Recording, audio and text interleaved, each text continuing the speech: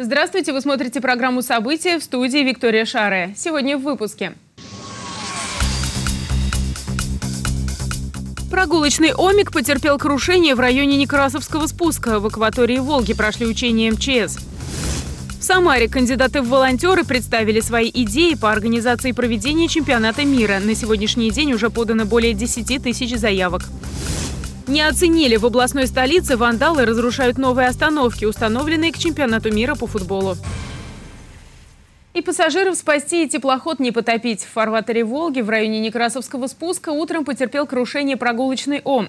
Учение провели сотрудники МЧС. Как это было, расскажет Сергей Кизоркин. Буквально пять минут назад мы приехали на набережную, чтобы снять осенние планы. И тут по Волге шел теплоход, который неожиданно задымился. Люди стали просить о помощи. Буквально через пять минут на набережной оказались спасатели МЧС. Пока на пляже разворачивался штаб оперативных городских служб, в панике с палубы корабля выпрыгнули два человека. Патруль ГИМС выловил пострадавших и доставил их на берег. У Ивана Иванова сломана нога, повредил, а борт корабля, когда бросился в воду. А скажите, а как вы в воде оказались? Я испугался, было страшно. Огонь был, я прыгнул. В воде не замерзли, холодная вода. Холодно. Вовремя спасатели подъехали, спасли.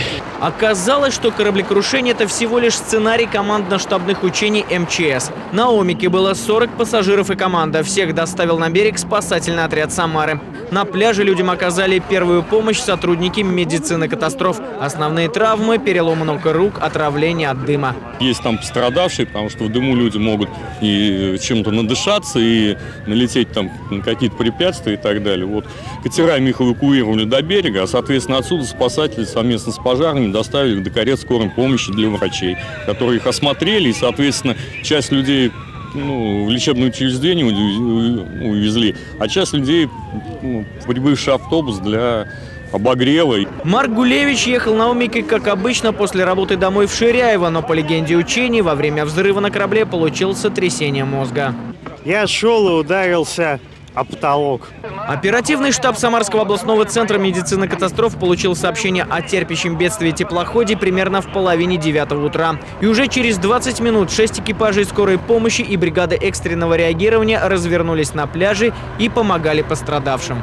Произведена регистрация пострадавших, осуществлена эвакуация. Все пациенты распределены по больницам. В больницу Пирогова отправлено 12 человек, в больницу Середаевна отправлен один ребенок. В это время на пляже уже работал оперативный штаб МЧС, полиция, поисковики и представители городской власти. По предварительным данным произошло э, возгорание и взрыв топливного бака. Целостность э, корабля не повреждена была, поэтому было принято решение осуществлять э, тушение пожара э, на плаву, то есть на якоры. Все оперативные службы сработали на твердую четверку. Подобные учения только на других видах транспорта и в жилых кварталах в ближайшее время пройдут и в других городах и районных центрах Самарской области. Сергей Кизоркин, Василий Колдашов. События. Больше 5 миллиардов рублей налогов поступило в этом году в областной бюджет от малого и среднего бизнеса. Оборот этих предприятий увеличился. Их в области 122 тысячи, и они производят почти четверть от всей продукции региона. Развитие предпринимательства и защиту его прав в Самарской области и Приволжском федеральном округе обсудили на заседании рабочей группы с представителями Генеральной прокуратуры и областного правительства, а также надзорных ведомств и некоммерческих организаций Самарского и соседних регионов. Главные задачи сейчас снизить административную нагрузку на бизнес и создать условия для вывода его из теневой экономики. Для этого прокуратура постоянно проверяет действующие нормативы, разъясняет предпринимателям их права, решает спорные ситуации. В результате прокурорского вмешательства, вот, если взять с июля 2015 года, в округе погашена задолженность по мерам прокурорского реагирования, по контрактам перед предпринимателем на сумму свыше 10,5 миллиардов рублей. То есть результат, как видите, налицо. Правительство области уделяет большое внимание развитию малого и среднего бизнеса, учитывая, что он составляет основу экономики региона. Оказывается помощь инновационным и производственным предприятиям, развивается гарантийная микрофинансовая поддержка – Наследие волонтерской программы «Мундиаля» на пользу общества. В Самаре прошел семинар, на котором кандидаты в волонтеры представили свои идеи для всероссийского конкурса. Он был объявлен 20 октября в Сочи на 19-м Всемирном фестивале молодежи и студентов. Тогда же официально стартовал прием заявок, который продлится до 8 ноября. Проекты разработаны для проведения чемпионата мира по футболу и касаются всех сфер жизни. Это оформление города, здоровый образ жизни, культура, спорт, туризм. Участники конкурса смогли получить консультации экспертов. На сегодняшний день уже подано более 10 тысяч заявок. Проект э, называется «Засветись на чемпионате мира по футболу». Мы предоставляем э, устройство, маячок, по обеспечению безопасности пешеходов, то есть наших гостей и жителей нашего города э, в темное время суток, и при плохих погодных условиях, если таковые будут летом 2018 года. То есть во время прогулок вечером, во время мероприятий. Вот такой вот у нас есть опытный образец, который у нас светится. Вот.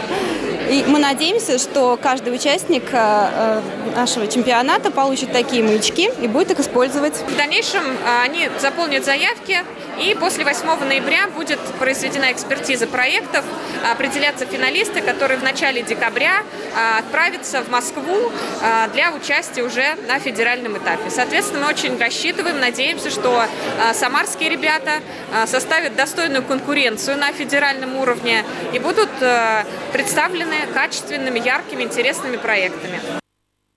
Город готовится к чемпионату мира по футболу по всем фронтам. Остановочные павильоны не исключение. В Самаре их обновляют. Старые, ветхие и аварийные меняют на стеклянные. Новые остановки появились на въездах в город, но оказалось, не везде самарцы ценят перемены. Лариса Шалафаст продолжит тему. Новую остановку напротив одного из торговых центров города установили две недели назад. Но самарцы такого обновления не оценили и оставили здесь внушительную вмятину. Теперь, чтобы вернуть остановке первоначальный вид, нужно снова выделять средства и проводить ремонт. На данном остановочном павильоне сломали лайтбокс с символикой чемпионата мира, который обойдется, ремонт обойдется примерно порядка 7 тысяч рублей. В течение лета в Самаре установили 88 новых остановочных павильонов, из которых вандалы повредили уже 20. Больше всего в Куйбышевском районе. Теперь муниципальное предприятие будет заключать контракт с подрядчиком, чтобы отремонтировать все остановки до начала зимы. Лариса Шлафаст, Максим Гусев. События. А теперь коротко о других темах дня.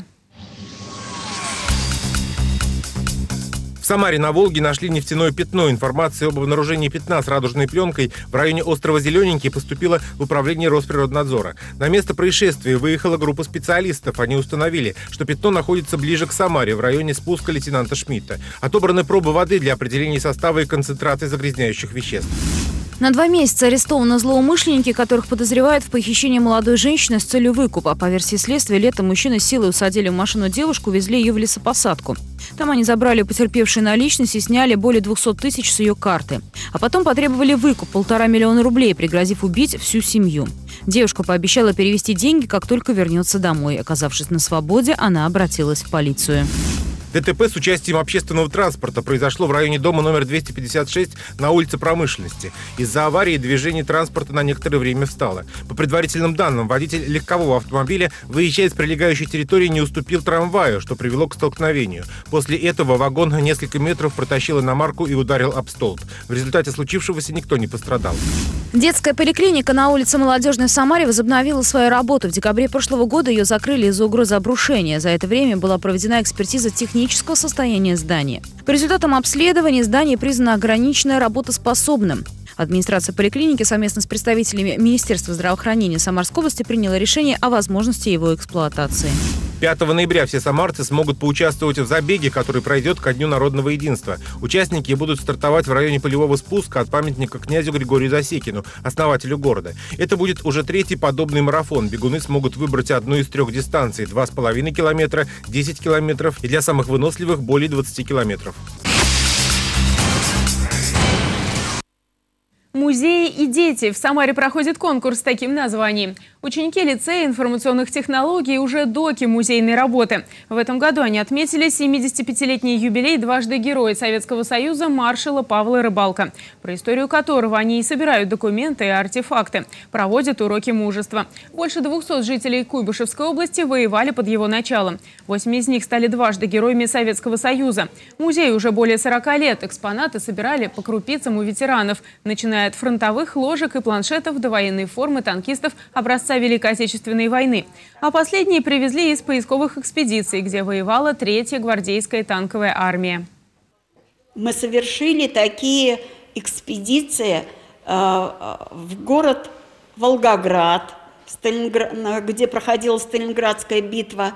Э, далее мы посетили Старый Оскол, Прохоровка, Белгород, где проходили бои и где участвовал также третья гвардейская танковая армия «Рыбалка». А вот какие материалы сейчас готовят к эфиру наши корреспонденты. В областную столицу на перевоспитание со всей России Самарская область стала экспериментальной площадкой, где начал работу исправительный центр для впервые осужденных. Тесноте да не в обиде учеников аварийной 46-й школы распределили в школы по всему микрорайону. Гагаринские и Металлурговские подружились. Слухи о конфликте лебедей, перевезенных из парка Металлургов в парк Гагарина, не подтвердились. На этом наш выпуск завершен. Мы рады вам сообщить, что у нас уже более 14 миллионов просмотров на YouTube. Читайте нас в Твиттере, смотрите на экранах своих смартфонов и планшетов на базе Android и iOS. Всего вам доброго и до встречи!